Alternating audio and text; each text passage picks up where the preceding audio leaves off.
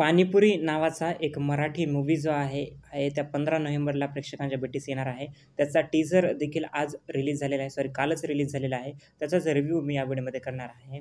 तर एक म्हणू शकतो आपण सुरुवातीलाच मी मला टीझर बघून जे मला वाटलं ते जर खरंच सांगायला गेलं तर जे मराठी इंडस्ट्रीमध्ये मूवीज येतात आणि जातात जे की टिपिकल एक फॅमिली ड्रामा मूव्ही मी असं म्हणेल पाणीपुरी या चित्रपटाला.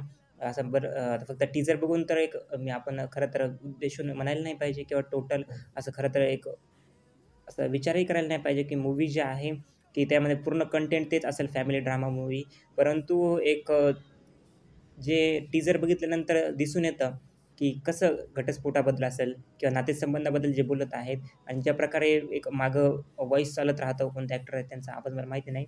आणि त्यावरून तरी असं दिसतं की एक फॅमिली ड्रामा हा मूवी आहे. मकरंद देशपांडे त्यासोबत आणखी सायली संचू यासारखे कलाकार या चित्रपटामध्ये आपण पाहणार आहोत.